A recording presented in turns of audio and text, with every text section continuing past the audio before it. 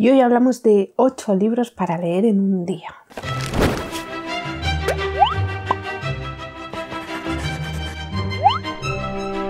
Hola a todos, ¿qué tal? Desde hace mucho tiempo me estáis pidiendo consejos para leer más rápido y ese tipo de cosas y bueno, la verdad es que no tengo muchos consejos para leer más rápido y mucho menos ahora que no tengo tiempo para leer y que voy avanzando bastante lento en mis lecturas, pero sí que en verano a veces elijo libros, si veo que el reto de Goodreads lo llevo mal, elijo libros que sé que puedo leer en, en muy poco tiempo. Entonces, pues quizá estos libros os ayuden, si os pasa lo mismo, estamos en noviembre ya prácticamente o en noviembre cuando suba este vídeo probablemente. Y el reto Goodreads está ya ahí que se acaba. Y si os faltan pocos libros, pues aquí os traigo una lista de libros que se leen muy rápido, que se leen en un solo día y que algunos incluso se leen en apenas dos horas, que si no los habéis leído, pues os pueden ayudar a completar este reto o a leer más o lo que sea. El primero de los libros es El niño con el pijama de rayas. Este libro se lee en dos horas. Es muy pequeñito, es una cosa así y es muy sencillo y bueno, yo este libro ya me lo he leído varias veces porque sé que,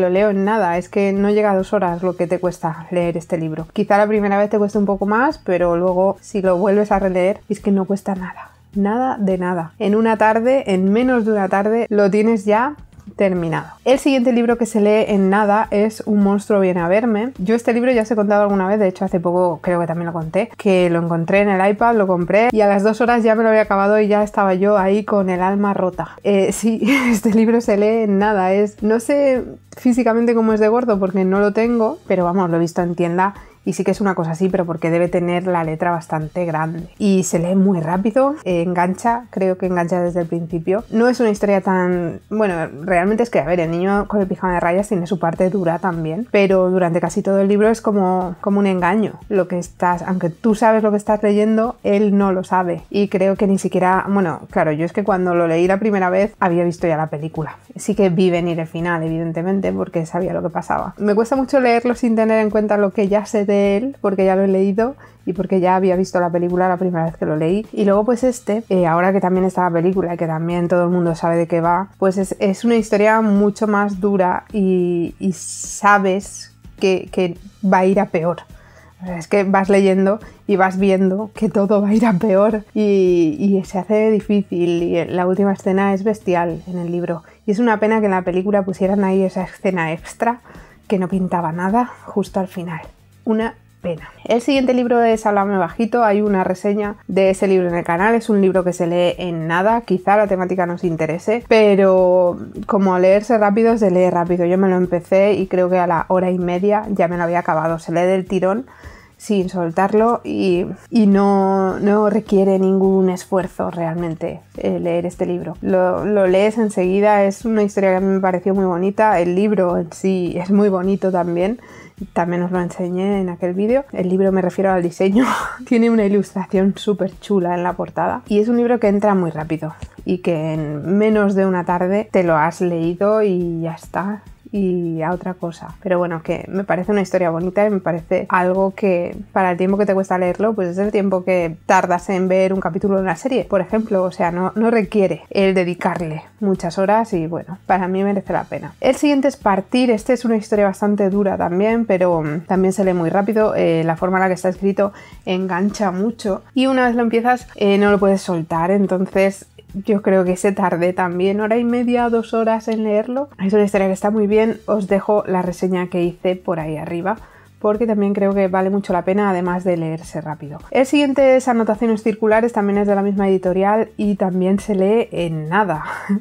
Yo me lo leí en una tarde, no lo había tenido en la estantería durante bastantes días y cuando lo cogí es que fue empezar y acabar en la misma tarde, no sé, también es un libro que cuesta un par de horas leerlo, que no, no cuesta más y es una historia muy chula porque es el título ya dice bastante lo que es el libro, pero tendréis que leerlo para descubrirlo.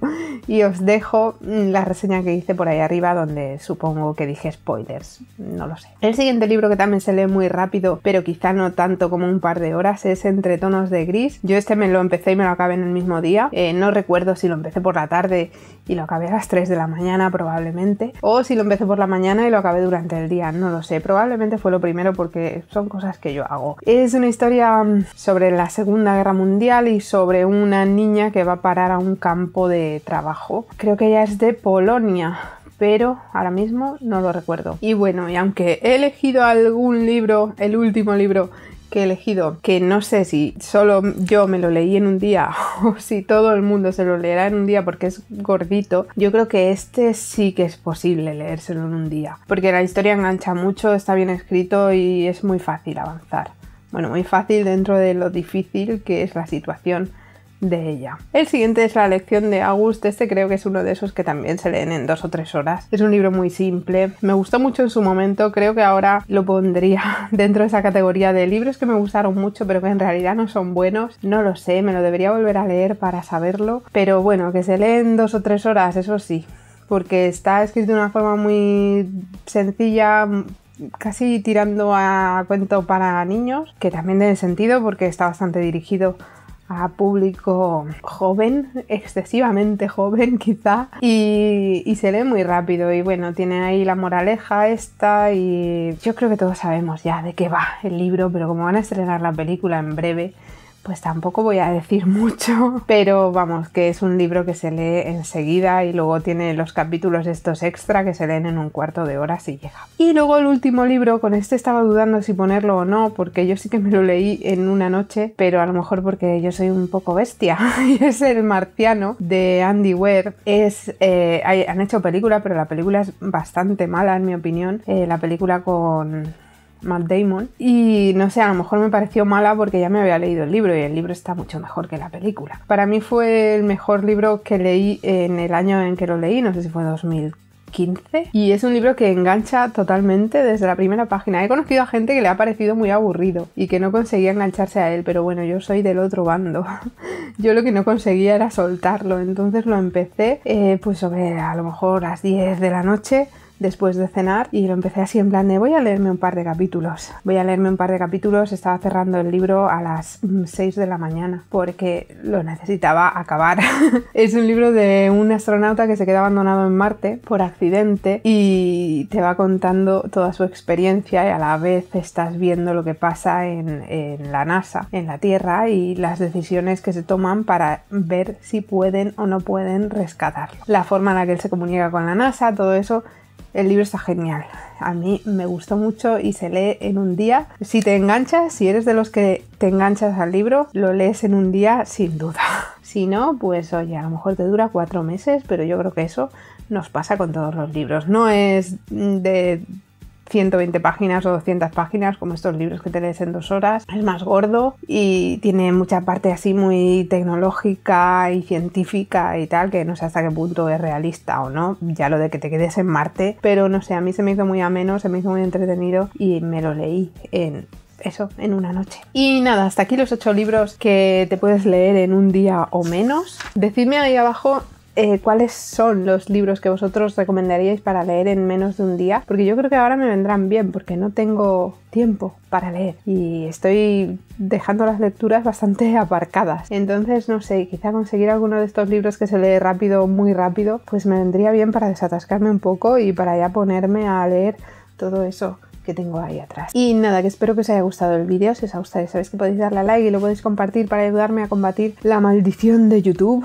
Si os gusta el canal, os podéis suscribir ahí abajo. Si ya estáis suscritos, le podéis dar a la campana para ver si YouTube decide que os avisa cuando yo suba vídeo, que mm, no lo está haciendo porque no me quiere, no me quiere y no sé qué hacer para que me vuelva a querer. Si nos avisa, me podéis seguir en Twitter o en Facebook porque ahí ya aviso yo. Nos vemos por aquí pronto con otro vídeo y espero que paséis una muy buena semana. Hasta luego. Desde hace mucho tiempo